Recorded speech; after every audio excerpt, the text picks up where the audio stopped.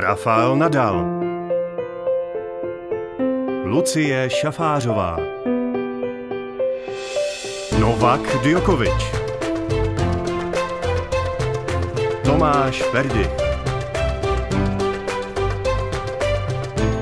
A mnoho dalších.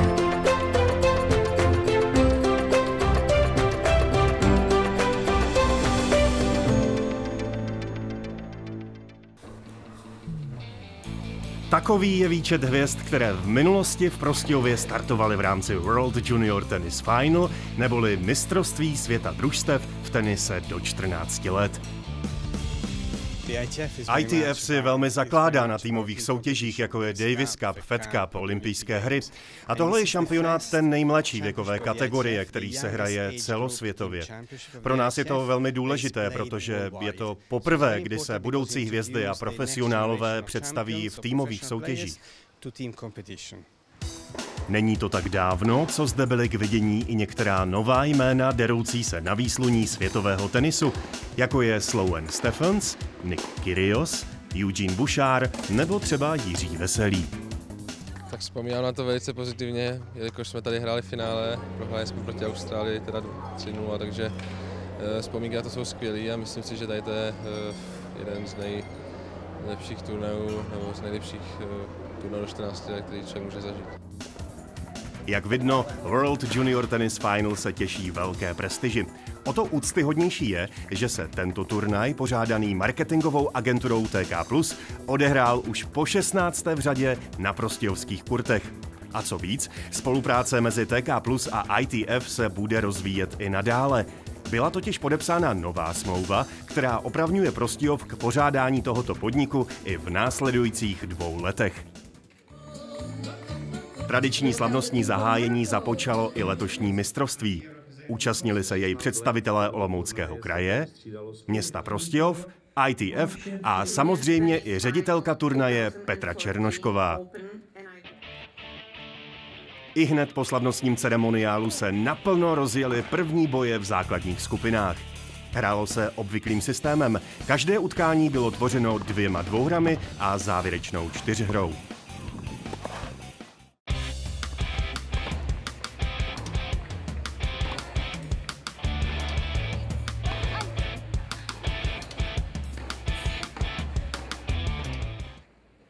Největším překvapením turnaje byly Rumunky, které byly mezi semifinalisty jediným nenasazeným celkem. Ani Rusky neměli cestičku do semifinále umetenou, když ve skupině museli přejít přes favorizované Američanky. Jejich vzájemný souboj však vyzněl jednoznačně pro ruské hráčky. Nejprve Tatiana Makarova snadno rozebrala hru Mikaely Lorny Markulesku, Ruska se prezentovala velmi pestrou hrou. Agresivní údery od základní čáry často mísila s povedenými zkráceními. Bylo z toho vítězství 6-1, 6-2. Převaha ruských tenistek byla k vidění i v dalším zápase, tentokrát mezi Olesiou Pervušinou a Selmou Stefaní Sadar. Asi největší rozdíl byl v kvalitě obou podání. Ruska, pokud jen trochu mohla, okamžitě přecházela do tvrdých returnů. Důslednější byla i v dlouhých výměnách a i proto zvítězila snadno 6-1, 6-0.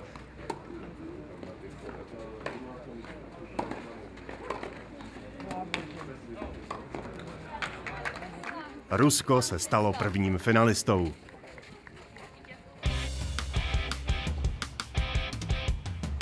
Jediným neevropským zástupcem v kvartetu semifinalistů soutěže dívek byly Australanky. Jejich soupeřkami byly mistrině Evropy z Ukrajiny.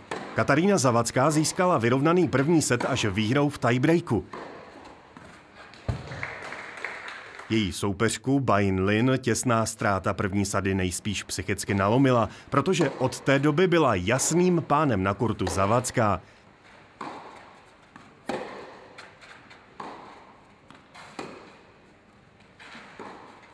Jířila pohybem i aktivitou a po výhře 7-6-6-2 zaslouženě poslala Ukrajinu do vedení 1-0.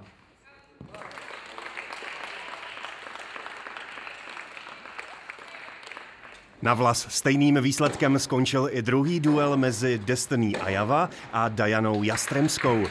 Jastremská se ve zkrácené hře vymanila ze všech čtyř setbolů soupeřky a ve druhém setu už neomylně mířila za ukrajinským postupem do finále.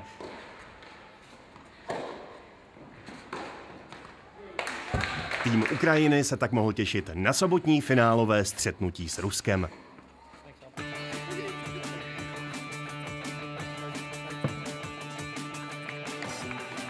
První set úvodní dvouhry utkání mezi Německem a Brazílií byl jasně v režii německého hráče Nikoli Kuhn. Nicméně brazilský João Rey poté výrazně pozvedl svůj výkon a tak druhá sada nabídla vyrovnaný souboj. Jenže Nikola Kuhn neponechal nic náhodě ani v koncovce druhého setu a důslednou hrou od základní čáry si šel tvrdě za svým.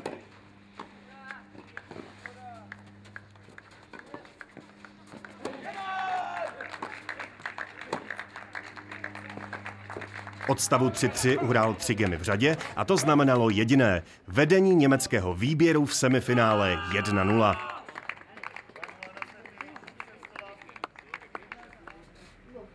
Postup svého týmu měla dokonat německá jednička Rudolf Meleker a svůj úkol zvládla více než skvěle. Snad první zaváhání přišlo až za stavu 5-0 ve druhé sadě při vedení 40-0. Navíc Thiago Wild neměl v tu chvíli co ztratit a hrál velmi odvážně. No víte, měl jsem dneska sedm matchballů. Hrál jsem dneska dobře, ale o to víc jsem byl na konci zápasu nervózní. Navíc při jednom z matchballů jsem netrefil jednoduchý volej na síti, což mě trochu rozhodilo. Ale nakonec to stačilo. Rudolf Meleker tedy proměnil až svůj sedmý matchball a svou výhru a zároveň i postup německého družstva do finále velmi emotivně oslavil.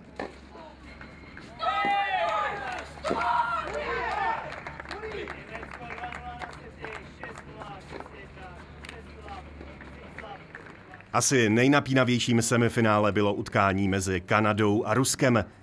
I když první dvouhra tomu příliš nenasvědčovala. Střetli se v ní Nikolaj Vyležanin a Felix Ogr Aliasime.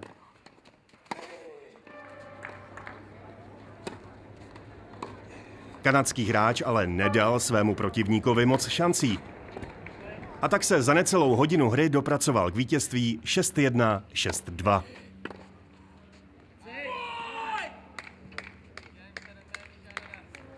O poznání dramatičtější i hezčí podívanou nabídl až druhý zápas mezi Alenem Avicbou a Nikejem Muambou.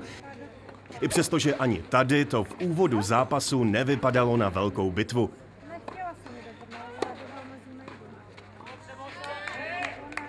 Kanaďan ovládl první sadu výsledkem 6-2 a i v té následující to byl opět Muamba, kdo byl blíže k vítězství v setu a tím pádem i k postupu Kanady do finále. Při vlastním servisu vedl 5-4 a 30-0. Rusko v tu chvíli dělili pouhé dva míče od prohry, jenže Avicba je velký bojovník. Nepříznivý stav otočil, vyrovnal a vítězstvím v tiebreaku si vynutil třetí set. Povzbuzen obratem v zápase a Vicba opanoval i rozhodující třetí sadu a po dvou hodinách a 33 minutách hry srovnal stav utkání mezi Ruskem a Kanadou na 1-1. O posledním postupujícím do finále tak musela rozhodnout závěrečná čtyřhra. Její průběh byl doslova jako na houpačce, nicméně poslední slovo, a to velmi důrazné, měli Kanaďané, když ve třetím setu zvítězili 6-0. Jak probíhal zápas uh, z jejich pohledu? V prvním setu jsme hráli dobře, hráli jsme energicky, agresivně. Ve druhém setu soupeři trochu změnili hru, změnili rytmus, hráli více lobů, více po lajnách, takže jsme se pak museli trochu přizpůsobit. Jo, bylo to těžké, ale ve třetím setu jsme se opět vrátili do hry, takže jsme velmi šťastní. Nevděčnou roli ve čtyřhře měl Nike Muamba, který v předchozím singlu sahal po vítězství, ale nakonec těsně prohrál. Uh, uh, no nebylo to jednoduché se mentálně uh, připravit na debl, ale chtěl jsem postoupit do finále, takže jsem se snažil znovu skoncentrovat na čtyřhru a vyhrát. Kanada tedy poprvé v historii postoupila do finále World Junior Tennis Final.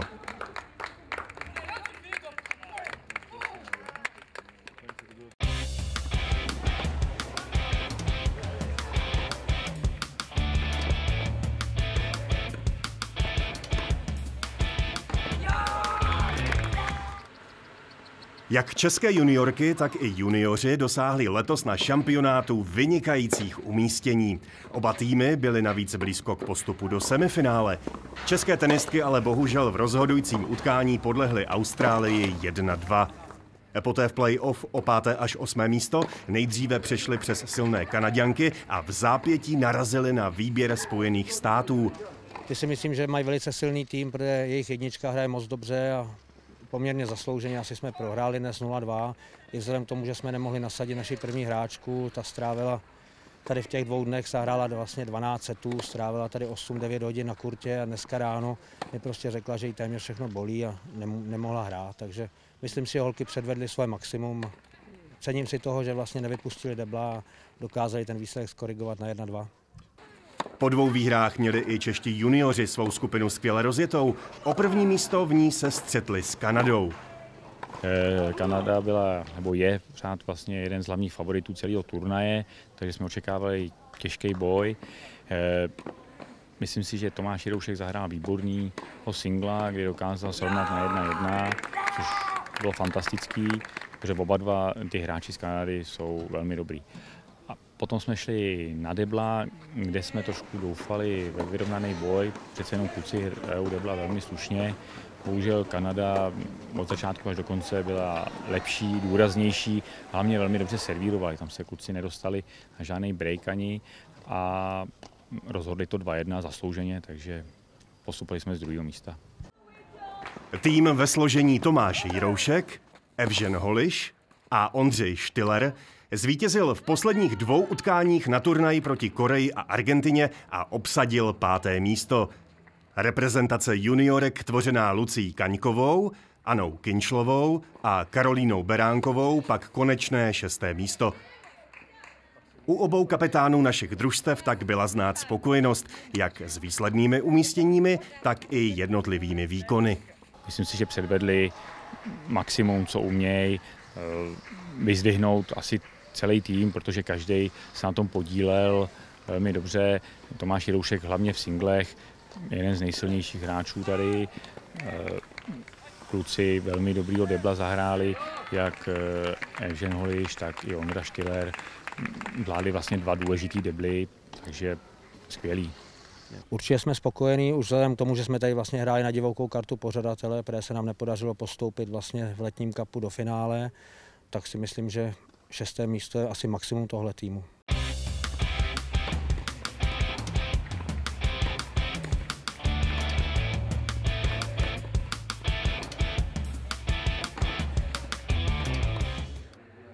Do souboje o bronz mezi Austrálií a Rumunskem lépe vkročily nenasazené Rumunky zásluhou Mikaely Loreny Markulesku. Drobná Rumunka byla v dlouhých výměnách více přesnější i důslednější hráčkou a i proto svou soupeřku Bayin Lin zdolala výsledkem 6-1, 6-3.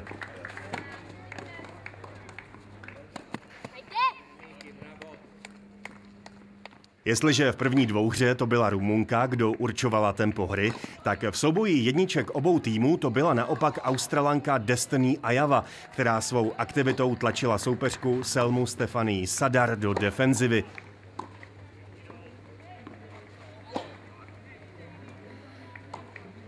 Pramenilo z toho jednoznačné australské vítězství a srovnání stavu utkání na 1-1.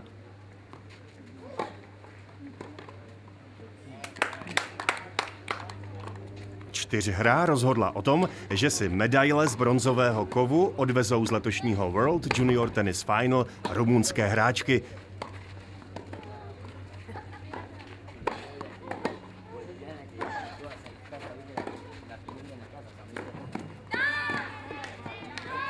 V rozhodujícím deblu zvítězili ve dvou setech 6-4, 6-1.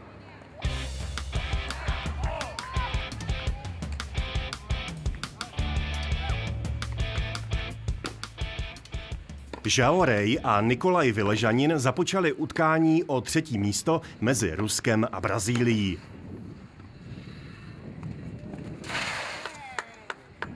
Rus získal v tiebreaku první set.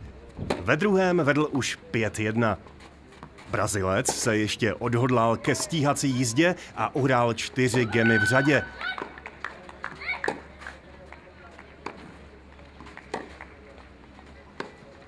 Navíc už to ale nestačilo a tak si Rusko díky Vyležaninově výhře připsalo první bod. Brazilské naděje na zachování šancí na bronz živil výkon Tiaga Vilda v zápase s Allenem Avicbou. Nevedl si špatně. Po dvou odehraných setech to bylo 1-1. Rozhodující třetí set byl velmi napínavý a dospěl až do závěrečného tiebreaku. Jeho průběh si v ničem nezadal s předchozím vývojem zápasu a tím nejtěsnějším možným výsledkem 8-6 jej získal Avicba. Znamenalo to jediné. Rusko obsadilo na juniorském světovém šampionátu třetí místo.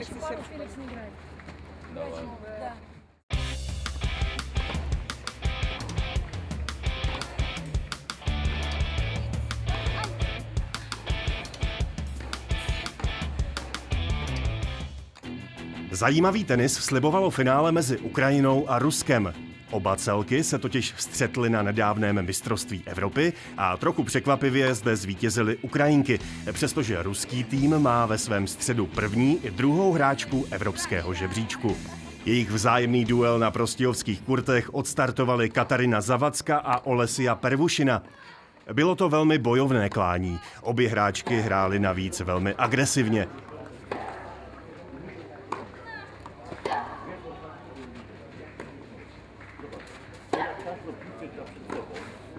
Rozhodující okamžik přišel za stavu 3-3 ve třetím setu. Pervušina vzala své soupeřce podání a třemi gemy v řadě dotáhla zápas do vítězného konce. Rusko vedlo ve finále 1-0. Následovalo velmi důležité střetnutí jedniček obou týmů. Pro Rusko to byla příležitost, jak vítězně ukončit finále.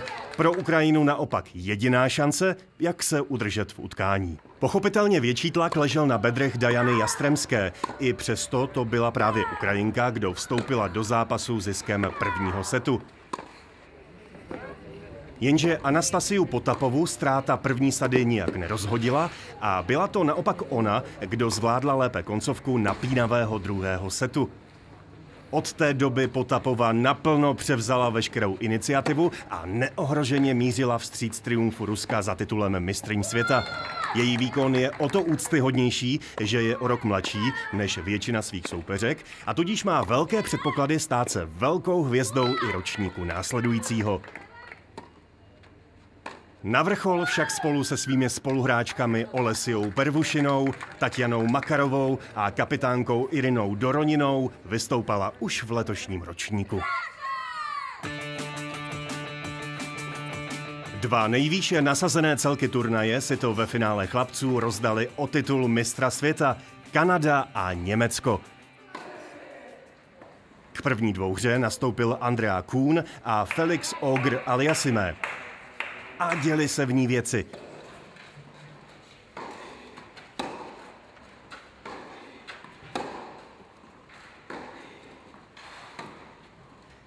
Nejprve Aliasime získal první set v tiebreaku. Pak ale přišly okamžiky, které si mladý Kanaďan bude asi dlouho pamatovat. Za stavu 5-4 při vlastním servisu se propracoval k prvnímu matchballu. Už to vypadalo, že je rozhodnuto, ale Aliasime přestřelil nabíhaný forehand o několik metrů za. Podobných okamžiků, které potvrzovaly starou sportovní pravdu, že udělat poslední krok je nejtěžší, zažil Aliasime na svou kůži v tomto gemu opravdu mnoho. Celkem měl 8 matchballů, ale ani jeden nevyužil. Při jednom z nich dokonce Němcovi praskl při returnu výplet a nejspíš stačilo umístit míč kamkoliv do kurtu, ale ani to se mu nepodařilo. Nutno říci, že německý Nikola Kuhn bojoval ze všech sil a zaslouženě se z této šlamasteky dostal. Srovnal na 5-5. Jenže Aliasime při jeho servisu začal hrát opět skvěle.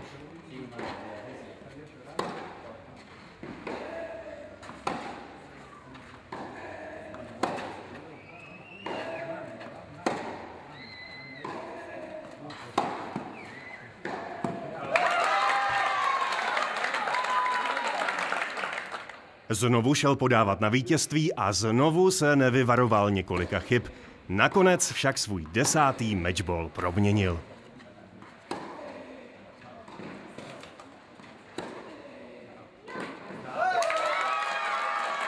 Kanada byla tedy o krok blíže k titulu.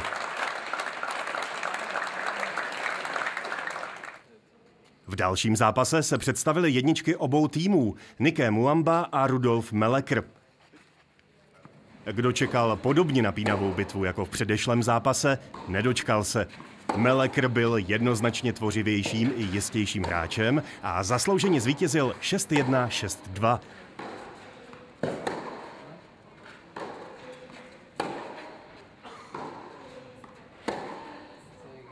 Vůbec konec turnaje odehrál Melekr v neuvěřitelné formě. Jak v semifinále, tak ve finále svým soupeřům povolil v průměru jeden gem na set.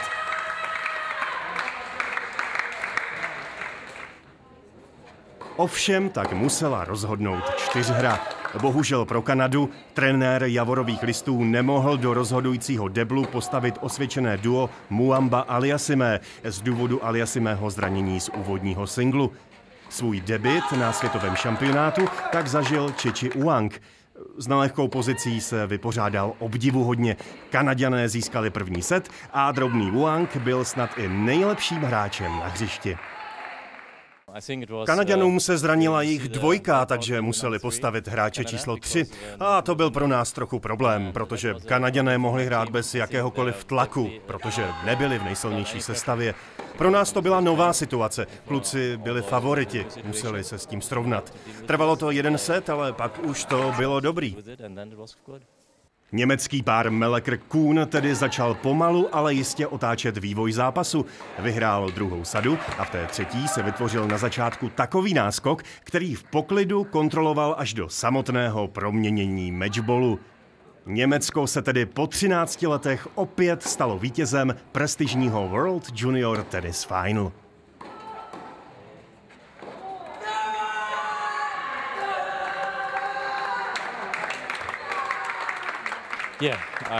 Jsme velmi šťastní, že jsme to zvládli, protože jako na první nasazené je na vás vždycky vyvíjen velký tlak. To jste mohli vidět v deblu v prvním setu. Kluci byli pod tlakem, ale zvládli to. Jsou to velcí bojovníci.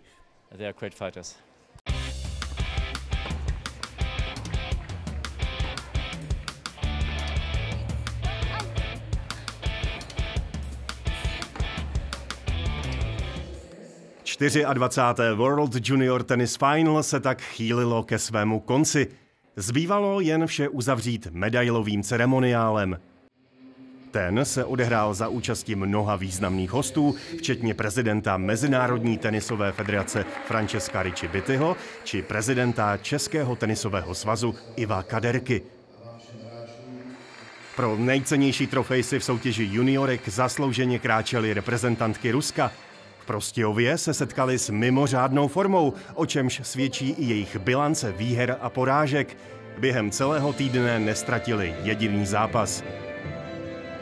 Roli favoritů dokonale splnili němečtí hráči, kteří do turnaje vstupovali jako nasazené jedničky a obzvlášť díky jejich výkonům ve vyřazovacích bojích nemohlo být pochyb, že trofej pro letošního mistra světa v družstvech do 14 let je ve správných rukou.